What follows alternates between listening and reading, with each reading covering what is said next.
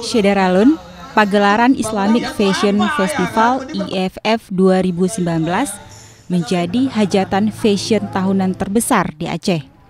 Event yang digelar Dinas Kebudayaan dan Pariwisata disebut Par Aceh dan Pemko Banda Aceh ini mengangkat tema street fashion. Salah satu agenda dari kegiatan ini adalah Bazar Busana yang digelar selama tiga hari di Taman Bustano Salatin atau Taman Sari, Banda Aceh. Puluhan stan dengan mengusung brand ternama tampil di sini. Beberapa brand yang hadir memanfaatkan momen ini dengan memberi harga khusus bagi pelanggannya. Ada juga stand fashion karya desainer lokal seperti Wardah Tutiflah, Cutline, dan Yanwar Bestari.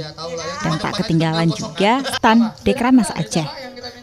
Kemeriahan acara juga disumbangkan oleh performance art band lokal HSP. Panitia juga menggelar games dan door prize bagi pengunjung yang beruntung.